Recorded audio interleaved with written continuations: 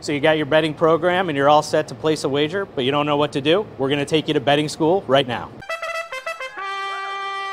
Let's start with the basics. Open up that racing form. Whether you like to look at the past performances, find a horse with a funny name, or pick them based on the color of the jockey silks, the information is all in here. Run, Curtis, run was full of run today. On to victory. Did you find the winner? Let's head to the betting window.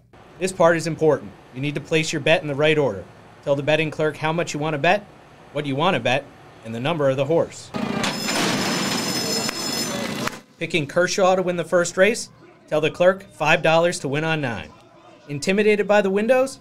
You can always use the self betting terminals or the NYRA Bets app. If you tap a horse to win, they must come in first for you to cash your ticket. Think your horse will finish first or second? Bet them to place.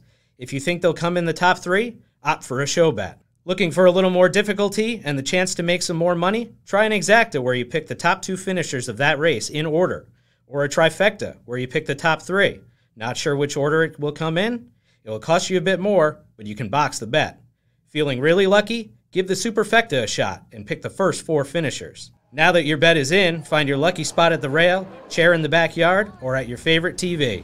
With a little luck, you'll be back at the windows cashing your tickets. Coverage you can trust, Josh Kumjan, News Channel 13.